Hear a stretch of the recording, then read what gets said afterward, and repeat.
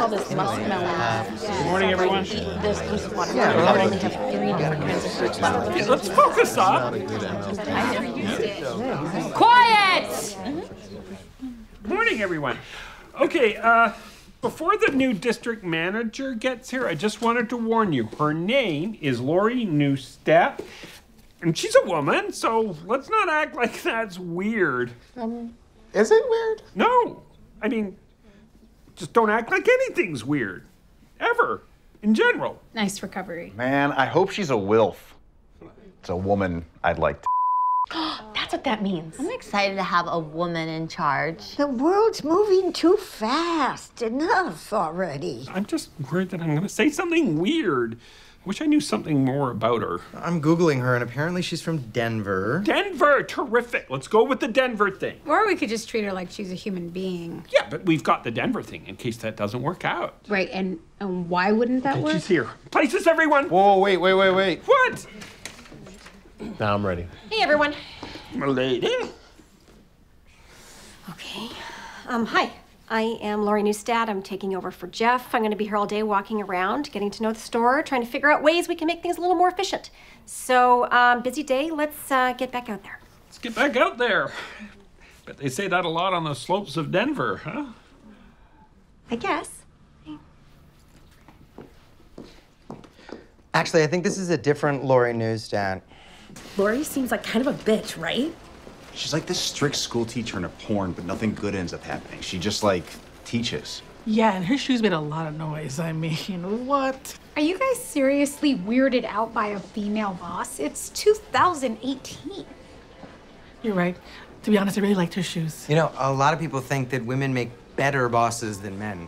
It's like they say uh, Ginger Rogers did everything Fred Astaire did, but backwards and in high heels. That's total crap. When did Ginger dance backwards?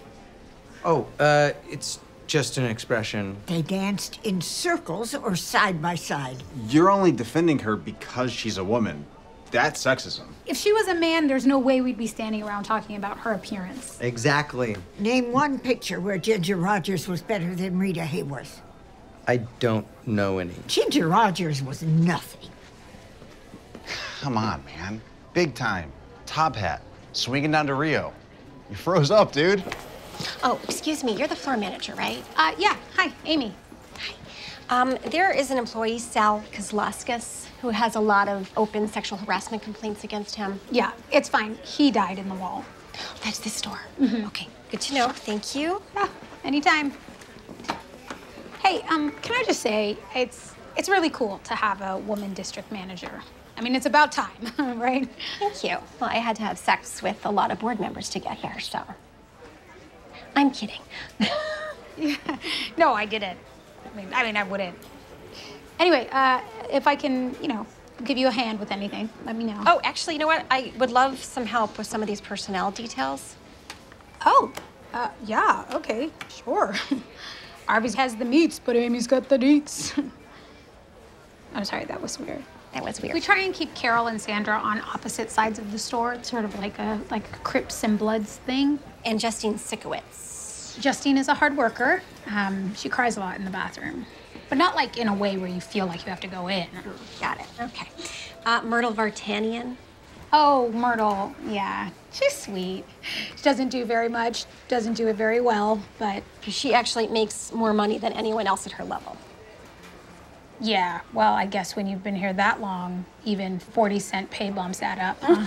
Good to know. All right. Well, at least we know we can cut Myrtle. Okay. Why don't you tell me about Cody? Oh, wait, uh, sorry. Um, when you say cut Myrtle, you don't mean like. Oh my God, no! I'm not like a monster. Oh, okay, a few. I'm not like gonna literally cut her. No, I just mean fire her.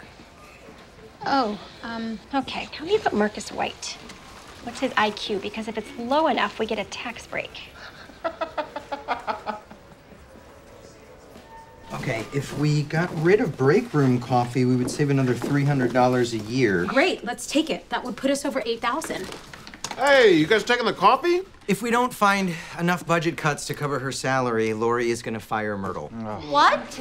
Wait, why would she fire Myrtle? Nobody knows. It's just random. It's because she's a bitch. Laurie, not Myrtle. Please. Jeff did all kinds of crappy things. I no one ever called him a bitch. When Jeff changed the vendors for the vending machine, you called him a.